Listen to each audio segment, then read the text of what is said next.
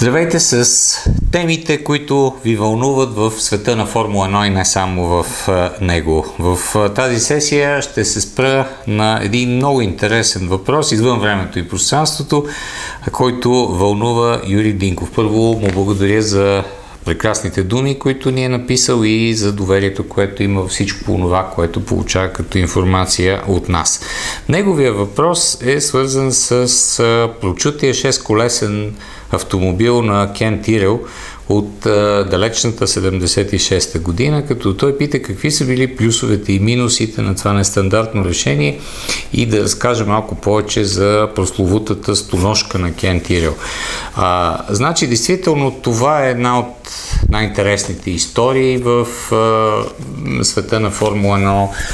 70-те години, един период, в който огромна част от отборите търсят всевъзможни начини да направят колите си по-бързи, по-издръжливи, без естествено в онези години да разполагат инженерите, екипите с аеродинамични тунели, с CFD технологии, неща, които специално CFD технологиите още са били в а, своя зародиш. Но хората са работили буквално на емпиричен принцип, слагали са един компонент върху автомобила, изследвали са го на пистата, след това са го заменили с други и така нататък. Един безкрайен процес. Пилотите са участвали много активно в целият този процес. Инженерите си имали страшно много идеи, различни и една от тези много интересни и различни от останалите идеи е и идеята на Дере Гарднер за създаване на автомобил с 6 колела, като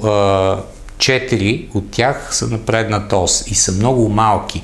Първият ефект, който е преследвал Дерек Гарднер и целият екип на Тирел е да се намали челното съпротивление. Тогава гумите са били много големи, особено задните гуми гигантски и са създавали а, огромни сили на м- не на натиска, по-скоро на турбуленция в, в предната част на автомобила.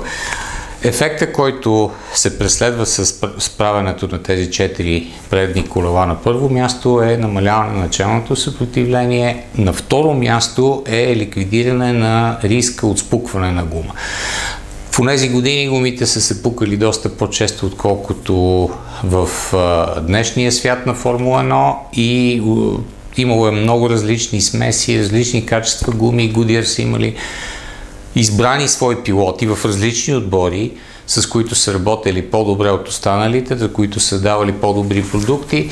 А, и една от следващите идеи, които са а, анализирали и са смятали, че подобен проблем ще бъде решен в Тирел е спукването на гумите, тъй като при една спукана гума колата стига до бокса, сменят се нещата и състезанието продължава съвсем чисто. А, освен това, естествено, проблемите са били свързани с управлението на колата, с това, че има 4 контактни точки при управлението на автомобила. Пилотите си изпитвали а, трудности, но невероятен състезател, какъвто бил Рони Петерсон, например, казва, че той няма никакъв проблем. Той трябва тръгва, кара колата Джоди Шектер. За него е било по-трудно, за Патрик Депае също в някаква степен, но а, пилотите свикват с стила, с стила на каране на автомобила. Много е интересен наистина като, като конструкция. Една далеч назад във времето статия на нашия колега Ючо Йорданов, още от може би 2000-та година, разказва подробно с чертежи всеки един от детайлите на, на този автомобил.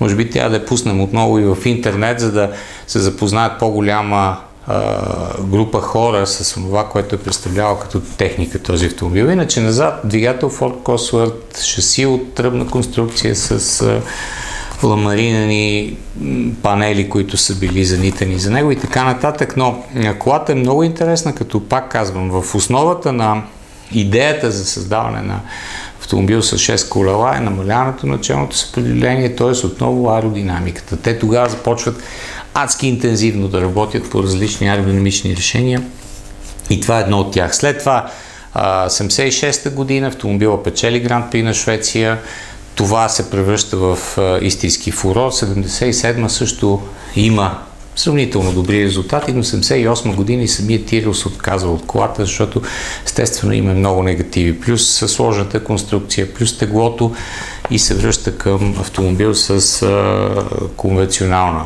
конфигурация, с 4 колела, но пък вкарва компютър за управление някои детайли.